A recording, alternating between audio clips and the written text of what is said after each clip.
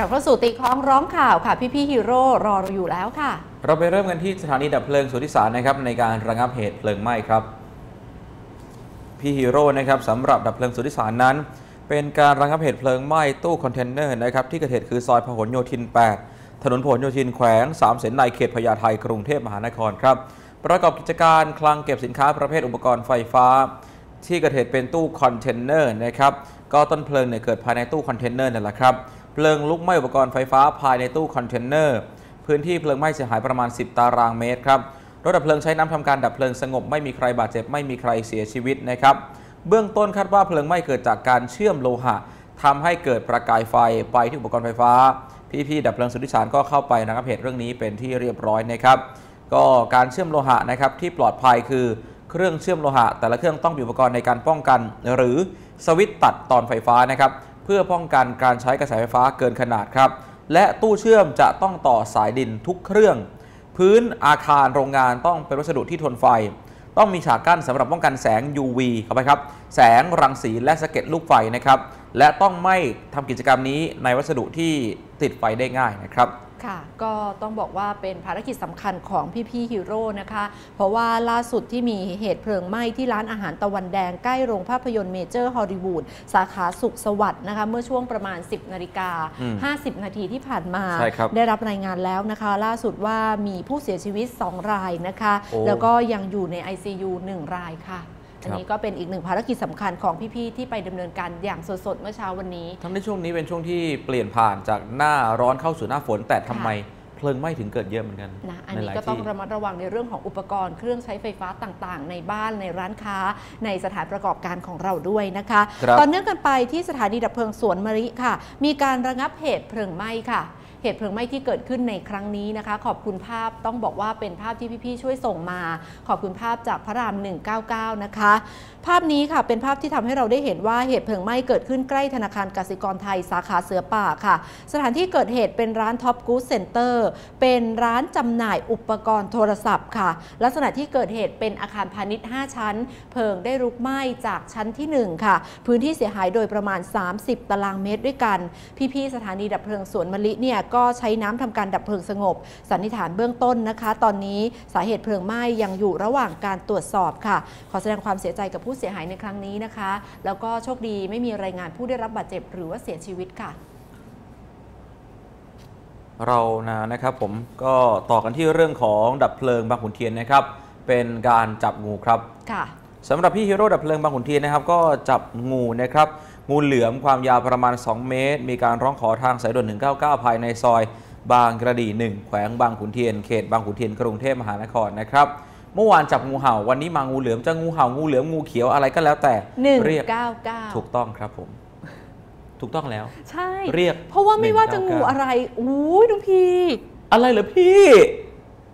ต้องรับประทานอะไรเข้าไป จริงเหรอ ท้องอวบมาก หรือกินไปแล้วหลายวันแล้วก็เริ่มย่อยแล้วมั้งเริ่มย่อยใช่ไหมใช่ อาจจะเป็นน้อยๆหรือเปล่าแต่ไม่เท่าน้องตัวเฮ่เมื่อวานเลยอุ้ยอันนั้นั้นนจระเข้น้อยชัดๆเลย อันนั้นผึ่งพุงมากโอ้ตายตายนะตายอะต่อเนื่องกันไปค่ะ พี่ๆสถานีดับเพลิงบางโพค่ะ ทีนี้น้องเงินน้องทองมาแล้วค่ะ ญาติน้องพีหรือเปล่า ไม่ใช่ญาติผมญาติพี่หรือเปล่าครับพี่ไปเรียกเขาน้องเนี่ยแหมน้องจะได้เรียกเงินเรียกทองไง ไม่เป็นไรก็ผมเรียกเองได้อะผมเดี๋งายนวเอไปงชนะมภาพกันอันนี้พี่โจพี่โจให้พี่โจ คนคนจับที่พี่โจฮะอ้าวเหรอคะดูหมวกเขาดิพี่ โจอี้ไม่โจก็โจนี่ ว้าว ใหญ่มาก ไอตัวเดียวเมื่อวานมันไม่ใช่นี่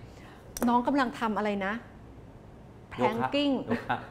ไม่ดิถ้าแพลงกิ้งมันต้องอยู่อย่างนี้ อันนี้เอามือค่อยหลัง เอาด้วยว่า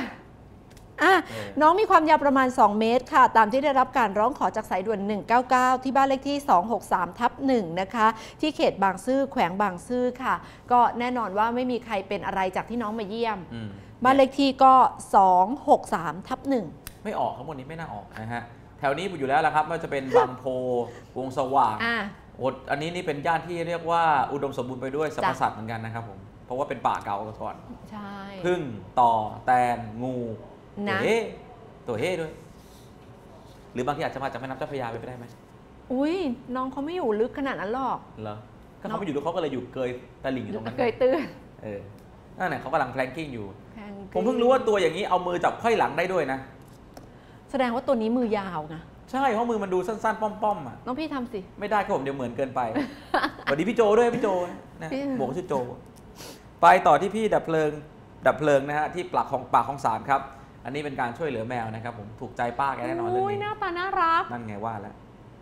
ช่วยเหลือแมวติดต้นไม้นะครับผมมีการร้องขอทางสายด่วนค่ะ199 ในซอยอิสรภาพหนึ่งนะครับถนนอิสรภาพแขวงสมเด็จเจ้าพระยาเขตคลองสารกรุงเทพมหานครครับ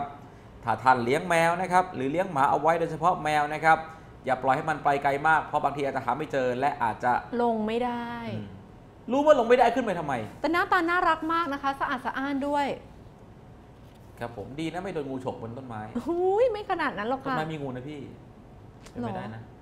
ต้นไม้มีงูตอนนี้ะ ที่บ้านมีน้องแมวมาตัวหนึ่งเหรอเอาท้ไงองกันด้วย เก็บอีกใช่ไหมแล้วลูกแมวทำไง ก็ยังไม่คลอดไงแต่ว่านางก็แบบทำท่าเหยียดเหยียดๆเนี่ย คือคือจะบอกพี่ปางเป็นคนใจบุญมากครับ เวลามีมีแมวหลงทาง แมวโดนทิ้งมาพี่ปางจะเก็บไว้ แต่จะดีกว่านี้ครับ ถ้าพี่เก็บไว้บ้านตัวเอง ครับพี่ เดี๋ยวถ้าคลอดเสร็จพี่ก็จะเอาไปไว้บ้านคุณพ่อที่เมืองการเลิเพกราะบ้านคุณพ่อมีพื้นที่ไงบ้านคุณพ่อ บ้านคุณเพื่อน บ้านคุณพี่คุณน้องคุณญาติ ทุกบ้านครับที่ไม่ใช่บ้านตัวเอง แต่พี่จะอุปการะหมดในเรื่องของการเอ่อเลี้ยงอาเอ่อซื้ออาหารหาหมออะไรอย่างเงี้ยเดี๋ยวพี่ดูแลจริงปะเนี่ย จริง บ้านผมตกตัวไหมไม่เป็นไร เดี๋ยวผมจะเบิก ที่บ้านสิบกว่าตัววันนี้มีค่าอาหารแมวสองพัน ที่บ้านสิบกว่าตัวละ ก็เผื่อมันไม่อะพี่บ้านพี่มีสิบตัวใช่ไหมมันเล็กไปแล้วพี่เล็กไปแบ่งมาสักตัวหนึ่งอยู่เดี๋ยวน้องดูแลให้คอนโดอยู่ไม่ไหวละอืมผมมีบ้านแถวพระรามห้าคือตอนนี้ต้องบอกเลยนะคะว่าใครที่มีน้องแมวน้องหมาที่แบบ ให้อาหารอยู่ ถ้าเป็นไปได้จับเขาทำหมันซะอืมนะเพราะว่าเขาจะได้ไม่แพร่ลูกแพร่หลานเยอะ แล้วท้ายที่สุดเขาก็จะมาเป็นสุนัขจรจัด แมวจรจัดนำความเดือดร้อนมาให้คนอื่น แล้วเราก็ไม่ได้อยากให้มีประเด็นดราม่าไงอืมคือประเด็นดราม่าในที่นี้ก็คือกทมไม่จัดการไม่มีใครจัดการดูแลตึ๊ดตึ๊ดตึ๊ดตึ๊ดตึ๊ดตึ๊ดตึ๊ดตึ๊ดแต่มันหลายตืดมากเลยเนี่ยมันเออแล้วแต่ถามที่มาก่อนไหมล่ะว่าน้องแมวตัวเนี้ย เขามีลูกได้อย่างไรอืมไปฟิชเชอริงกันเพราะคุณไม่เอาไว้ในบ้านหรือเปล่าอืมคุณเลี้ยงแบบปล่อยเขาหรือเปล่าอะไรอืมแบบเนี้ยเป็นต้นนะและยิ่งเป็นแมวตัวเมียเนี่ยเขาฟิชเชอริงกันได้เร็วมากอืม2เดือน3เดือนท้องแล้ววะ2เดือน3เดือนท้องแล้ววะแล้วเขาไม่เหมือนมนุษย์นะคะอ๋อ8 9เดือนไม่ใช่นะอ๋อสองสามเดือนนางท้องได้ทีนึงสองสามใช่เดือนนางท้องได้ทีนึงแล้วนางมีลูกทีไม่ได้ทีละหนึ่งเออเป็นเป็นคอกทีละสองทีละสามทีละสี่ทีละห้าทีละเจ็ด นี่คืออินเนอร์ใช่ไหม ถามจริง ไม่ไม่คืออยากจะคือเห็นใจเหมือนกับว่าถ้าร้องขอความช่วยเหลือ หรือร้องขอให้หน่วยงานราชการช่วยเนี่ยต้องถามตัวเราก่อนว่าเราอะช่วยตัวเราแล้วหรือยัง อืมเราจัดการปัญหาที่มันอยู่รอบตัวเราบ้างหรือเปล่าๆอืม ไม่ใช่แบบ ถ้าพี่เอะอะทำอะไรไม่ถูก น้องพี่น้องพี่น้องพี่อ๋อเหรอมันก็ไม่ได้ไง อืมเหมือนที่มีเอ่อการทำเพจแล้วกัน แล้วเออแชร์กันในโซเชียลว่าแบบว่าเฮ้ยทำไมกทม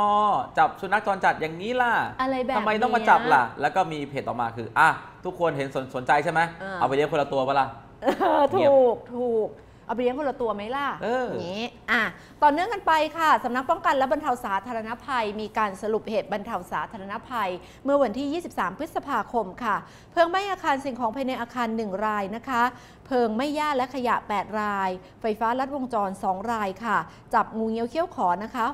งูเฉยๆไม่มีเงี้ยวเขี้ยวขออืม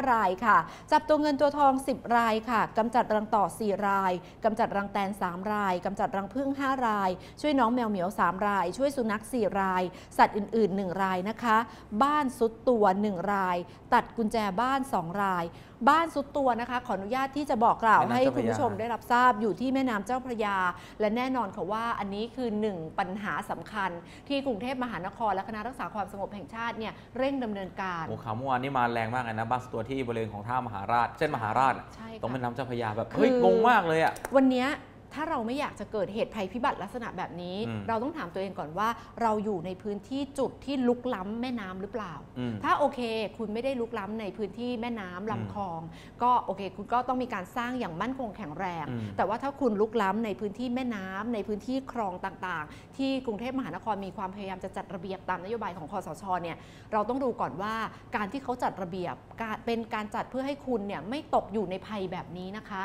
ครับ เพราะถ้าน้องพีไปสร้างบ้านอยู่ริมคลอง วันหนึ่งเกิดสุดตัวก็มันจะได้ความสวยงามแบบโอ้นี่เป็นบ้านริมคลอง แต่แบบเป็นแคนาวเวลาเกิดอุบัติเหตุขึ้นมาเนี่ยไม่คุ้มนะคะ ไม่คุ้มครับผมอืมเอาว่าเราเก็บเงินไว้แล้วก็เวลาไปเที่ยวก็ไปอาจจะเช่าบ้านริมคลองอยู่สักสองสามวัน อะไรแบบเนี้อะไรอย่างเงี้ยยเออที่มัเขานเป็นที่ที่ถูกต้องอะนะ ใช่เหมือนถ้าเกิดเราอ่ามีหลายคนนะอันนี้หนึ่งเรื่องนอกเรื่องก่อนจ้ะชอบอยากจะมีคอนโดที่ค่ะหัวหินอะไรเงี้ยอืมเลยถามไปบ่อยแค่ไหนสามเดือนครั้ง คุ้มกันไหมกับการผ่อนคอนโดที่หัวหินอ๋อเก็บเงินสักประมาณอ่าสามเดือนเก็บสักประมาณสักสามพันค่ะไปทีนึงคุ้มกว่าเยอะดีกว่าอ๋อต้องไปผ่อนผ่อนผ่อนแล้วก็ไม่ค่อยได้ไปอยู่โอเคครับผมจากจากบ้านริมน้ำเราไปริมทะเลได้เลยไปริมทะเลไม่คือจะบอกว่าบางคนโอเคการอยู่เลิศบ้านริมมากน้ำมันดีอืมแต่มันก็เหมือนการซื้อรถยุโรปแหละครับ มันค่ะดีแต่มันมีการ maintenance ในระยะยาวที่เพิ่มขึ้นอืม น้ำจะมีกระตลิ่งจะมาไหมน้ำจะแบบจากทำบ้านบ้าสุนดตัวริมคลอง ไปบ้านริมทะเลไปไปรถยุโรปแล้วรถยุโรปมันมีความเหมือนกันพี่ มันโอเคคลาสสิกพี่เชื่อ พี่เชื่อแบบนั้นน้องพีพี่อ่าเชื่อน้องพีมากพี่เหมือนพี่เหมือนพี่ไม่ค่อยเชื่อผมเลยอ่าเหมือนถ้าซื้อบ้านริมคลองท่านได้และบ้านสวยๆมีวิวสวยๆแต่ต้องดูว่าต้องมีการดูแล maintenance ว่าเออน้องพีคะพี่ครับเชื่อพี่เชื่อพี่ครับผมทำท่าอย่างนั้นมันเหมือนโฆษณาเอ่อพวกโมเดลเลย สลิมอะเดี๋ยวเราพักกันครู่เดียวค่ะ ช่วงหน้าเรามีโครงการดีๆ กิจกรรมดีๆ ค่ะ โครงการพัฒนาริมคลองบางมด ใครเคยไปบ้าง ไม่เคยไป ต้องไปนะคะ เดี๋ยวเราไปพูดคุยกันกับท่านผู้อำนวยการเขตทุ่งครุพักกันครู่เดียวค่ะจ้ะ